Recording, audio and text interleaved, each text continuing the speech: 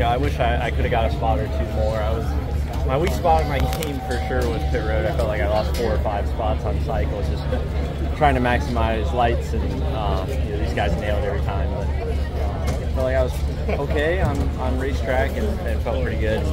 Um, just kept working at it and passed a few of my heroes that win races on Sunday. Um, wasn't expecting that, and I think I exceeded my own expectations, but I could still be real nitpicky on myself. What does that say about you as a driver going into two different teams and having great runs? Uh, unfortunately, the first time it, it, wasn't your fault that something happened, but two different teams, two cup starts, and you've uh, got some solid results out of it.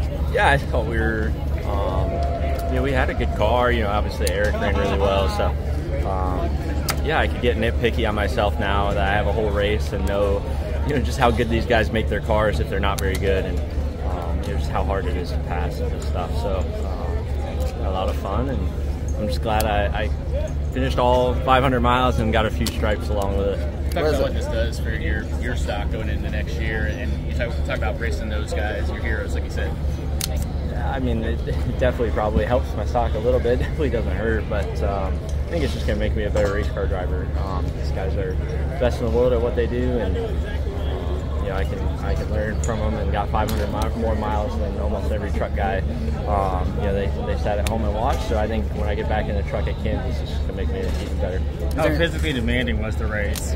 Uh, I mean, I'm pretty weak right now. Um, yeah, it's definitely a long time. It's more cramped than anything. I'm tall as it is, so kind of snugged in there, but yeah, fun.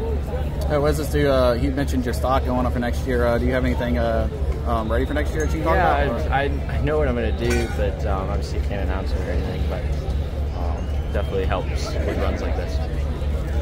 Hey everyone, Dalton Hopkins here with FrontStretch.com. Don't forget to hit that subscribe button and check out one of the two videos next to me to see more of our racing content.